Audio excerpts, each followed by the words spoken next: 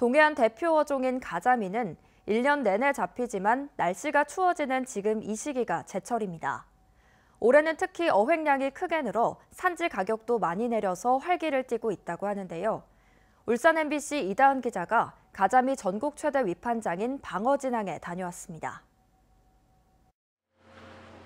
어둠이 채 가시지 않은 이른 새벽. 바다에서 조업을 마친 배들이 속속 항구로 들어옵니다.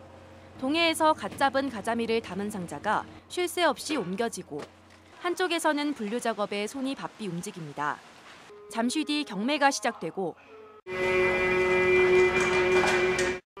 경매사 진행 소리에 맞춰 전국에서 온 중도 매상들의 손이 바삐 움직입니다. 제철 맞은 가자미를 좋은 가격에 가져가기 위한 눈치 싸움이 시작된 겁니다.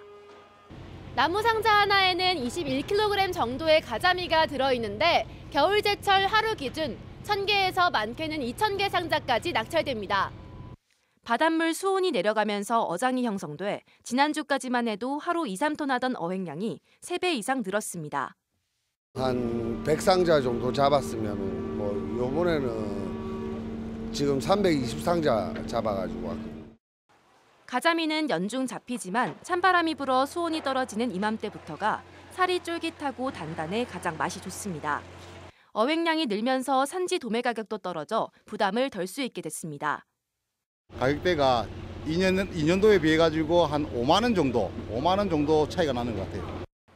겨울 제철을 맞은 싱싱하고 영양 만점 가자미 밑판으로 동해안 항구가 활기로 넘치고 있습니다. MBC 뉴스 이다은입니다.